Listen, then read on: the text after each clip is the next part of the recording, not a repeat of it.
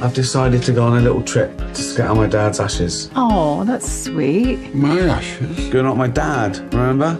Am I adopted? Fuck me, it's like I've got a replacement. I thought not caring was a superpower. I was wrong. Caring about stuff, that's what really matters. Kindness, making other people feel good. What are you doing? Just sprinkling a few of my dad's ashes. On the carpet? Yeah, it was his last request. Oh, was it? Two of you. Out. Take your rubbish with you. Rubbish. Ah, that bit went in my mouth. Good. I hope that was his cock, you stupid cunt. I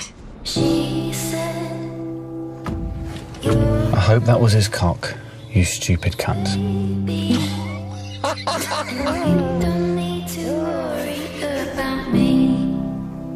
It's just a discussion. Don't know what God is exactly, but I believe in something. Vague. Well, we obviously go somewhere. I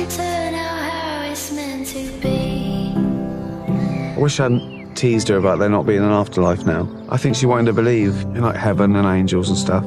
I hope she was. I hope she wasn't scared. There are angels. They don't have wings and live in clouds. They wear nurses' uniforms and work hard to pay the rent on their houses. If you want to be an angel, you've got to do it when you're alive. Be good, do good things.